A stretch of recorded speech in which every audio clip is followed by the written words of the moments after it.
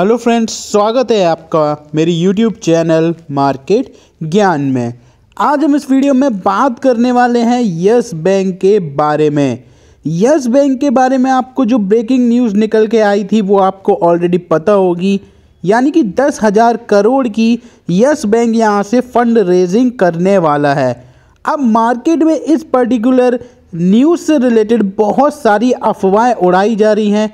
कि शेयर इस particular news की वजह से दो रुपये पे आने वाला है, क्योंकि यहाँ पे जो बैंक है वो आपको एफपीओ लाते हुए नज़र आ सकती है। और जब पिछली बारी बारह रुपये पे एफपीओ आया था तो शेयर आपको छः रुपये के लेवल को टच करते हुए नज़र आ गया था।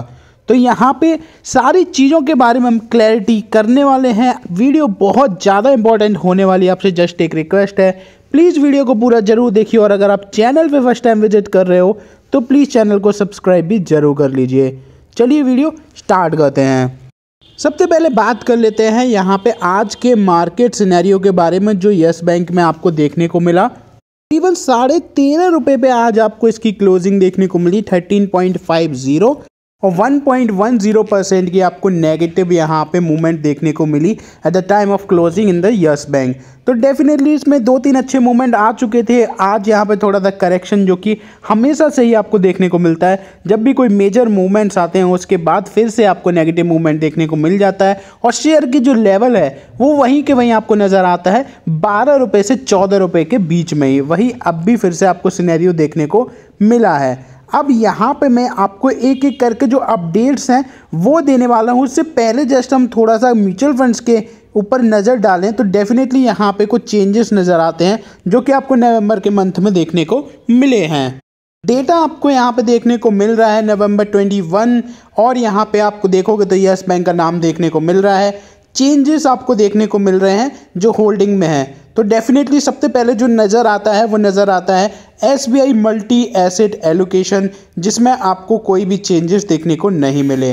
फिर अगर आप यहाँ पे देखोगे तो एक्सिस निफ्टी 100 इंडेक्स फंड आपको नज़र आता है। करीबन पाँच परसेंट की होल्डिंग्स को इंक्रीज करते हुए।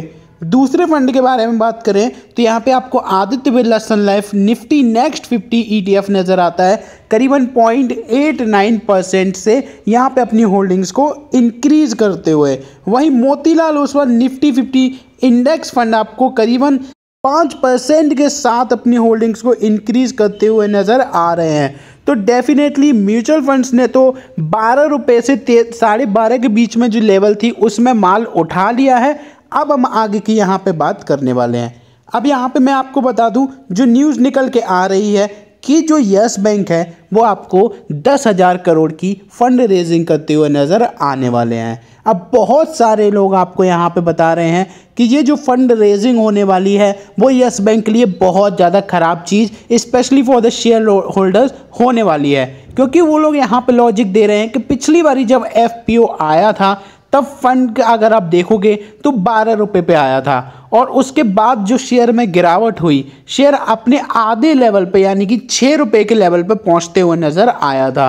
तो वही लॉजिक अब वो यहाँ पे फिर से प्रोवाइड कर रहे हैं कि अब जो यस बैंक फंड रेजिंग करने वाला है थ्रू वेरियस डिफरेंट ऑप्शंस या डिफरेंट इंस्ट्रूमेंट्स तो फिर से शेयर जो है वो आपको दो रुपये के लेवल पर नज़र आने वाला है। सबसे पहले तो आप मुझे कमेंट बॉक्स में बताइए कि आपको क्या इस न्यूज़ पे बिल्कुल सच्चाई नज़र आती है या फिर आपको कुछ और नज़र आता है। अब यहाँ पे मैं अपने यहाँ पे ओपिनियन बताऊँ तो डेफिनेटली ऐसा बिल्कुल भी नहीं होने वाला है। उस टाइम की सिचुएशन आपको पता ही है, जो यस बैंक बिल्कुल डूब चुकी थी, जब वहाँ पे आपको एसबीआई का साथ मिलते हुए नज़र आया था, जिसकी वजह से अगर आप देखोगे, इतना बड़ा फ्लक्चुएशन देखने को मिला था। लेकिन अब यहाँ पर ऑलरेडी स्टेबलाइज सिचुएशन में आ चुकी है बैंक और ये जो दस हज़ार करोड़ की फंड रेजिंग है, वो डेफिनेटली बहुत बड़ी हेल्प करने वाली है।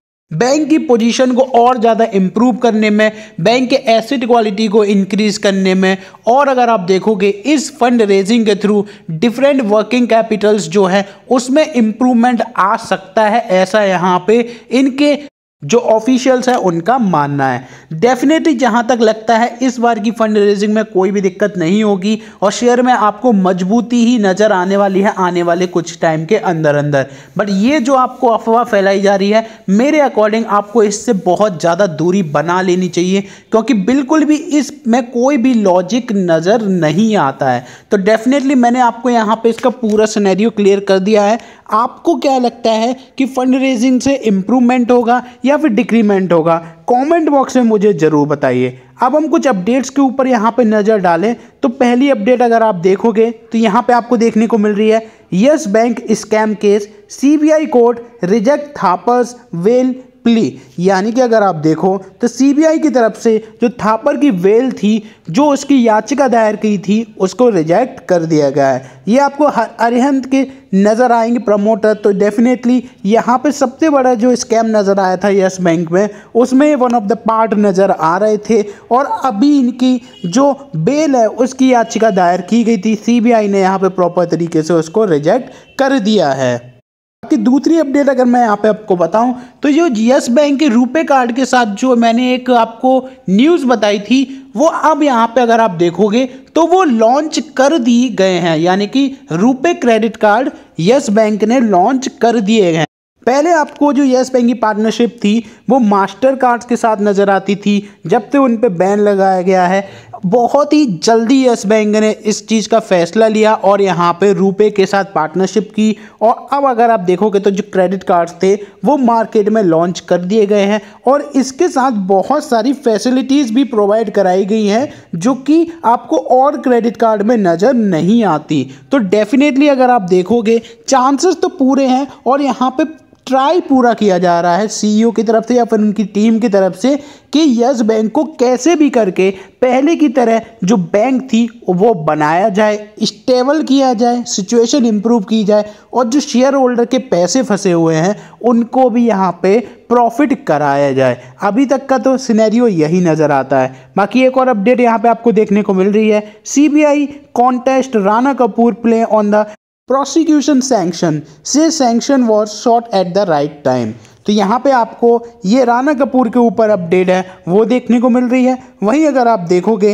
तो रिलायंस जो कि आपको यहाँ पे एक बड़े डिफॉल्टर में से नज़र आते हैं यस बैंक के, उन पे भी एक अपडेट निकल के आ रही है। Swan energy to join H M L as strategic partner for Reliance naval resolution plan तो यहाँ पे आपको देखने को मिल रहा है कि Swan energy H M L के साथ एक स्ट्रेटेजिक पार्टनर की तरह ज्वाइन कर रही है, जो आपको नवल रिजोल्यूशन प्लान में नज़र आ रहे हैं। तो डेफिनेटली ये कुछ सारी अपडेट्स हैं जिनका अगर आप देखोगे, आगे जाके इम्पैक्ट पड़ सकता है। इमिडिएटली आपको कोई इम्पैक्ट देखने को नहीं मिला, इसलिए मैंने वीडियो के लास्ट में इनको जस्ट कवर किया है ताकि आपको इसके बारे में भी नॉलेज रहनी चाहिए। मैंने आपको यहाँ पे सारी चीज़ें बता दी, आपको जो भी चीज़ अच्छी लगी या बुरी लगी, आप कमेंट बॉक्स में ज़रूर बताइए। और चैनल पर अगर आप फ़र्स्ट टाइम विज़िट कर रहे हो तो प्लीज़ चैनल को सब्सक्राइब भी ज़रूर करिए। धन्यवाद।